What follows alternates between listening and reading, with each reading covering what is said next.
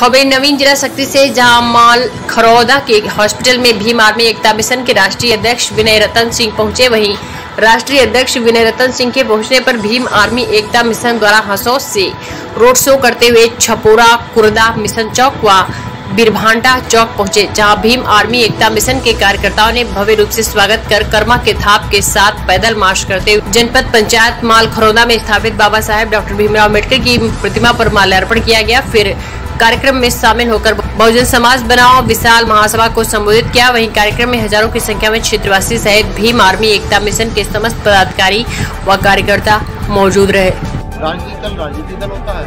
दुश्मन तो बताने की आवश्यकता ही नहीं है तो अच्छा आप लोग जो भीम आर्मी सेना और बहुजन समाज अलग अलग लड़ेंगे चुनाव के एक साथ लड़ेंगे? देखिए भीम आर्मी सेना नहीं है भीम आर्मी एक सामाजिक संगठन है। भीम आर्मी का विंग है राजनीतिक आज़ाद समाज पार्टी का है जी सर जी बताना चाहेंगे भीम आर्मी किस तरीके से काम कर रही है पूरे प्रदेश में?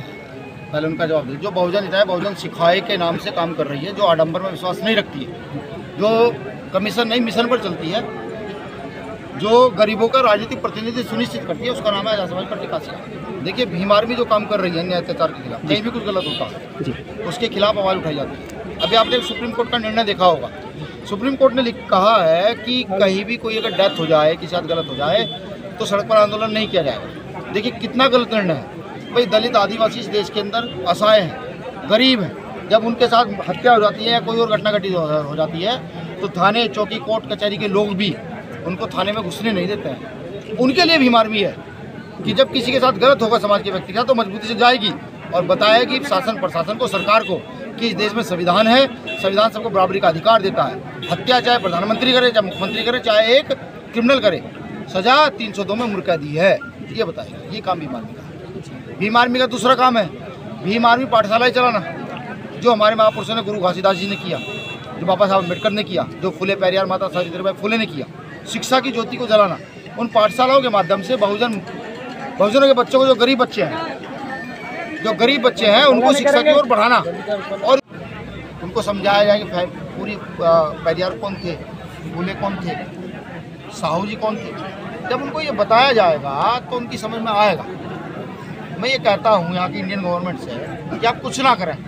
हमें आपसे कुछ चाहिए ही नहीं। आप एक किताब बाबा साहब की, एक किताब फूले साहब की, एक किताब पेरियार साहब की, एक किताब गुरु रैदास की, गुरु घासीदास जी की किताब, एक बुद्ध की। इनको सिलेबस में ऐड कर दीजिए ना। भाई, क्या हमारे किसी महापुरुष ने कुछ गलत लिखा है?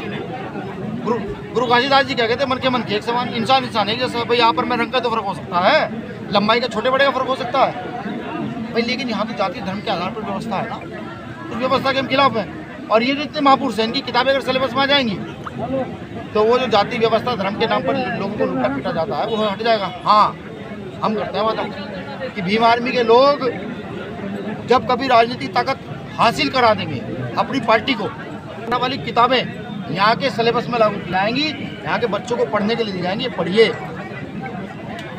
और इतिहास बताया जाएगा भाई इनको पढ़ जी फिर आज भीम आर्मी बहुजन समाज के एक कार्यक्रम माल को आपके नेतृत्व हुआ कैसा महसूस हो रहा बताएँगे क्या था कार्यक्रम का रूप देखा जी बहुत अच्छा महसूस हो रहा है कि बहुजन समाज बनाओ सभा भीम आर्मी जिला शक्ति के तत्वाधान में हुआ है और पूरे बहुजन समाज के लोग इस कार्यक्रम में शामिल हुए हैं पूरे छत्तीसगढ़ प्रदेश के लोग इस कार्यक्रम में शामिल हुए हैं। बहुत खुशी की बात है कि बहुत जल्द भीम आर्मी पूरे बहुजन समाज को एकीकरण करके समाज को आगे बढ़ाने का काम करेगी। शोषण अन्याय अत्याचार के खिलाफ ज़्यादा से ज़्यादा और संघर्ष करेगी कैसा सहयोग प्राप्त हुआ कार्यक्रम को लेकर क्षेत्रवासियों का? क्षेत्रवासियों का सहयोग बहुत अच्छे तरीके से प्राप्त हुआ और जन बल का भी सहयोग अच्छे तरीके से प्राप्त हुआ। अपने लीडर को अपने समाज के प्रमुख पदाधिकारियों को सुनने क्षेत्रवासी और संपूर्ण प्रदेश के पदाधिकारीगण भीम आर्मी के कार्यकर्तागण अधिक से अधिक संख्या में शामिल हुए थे कार्यक्रम में। ठीक है थैंक यू।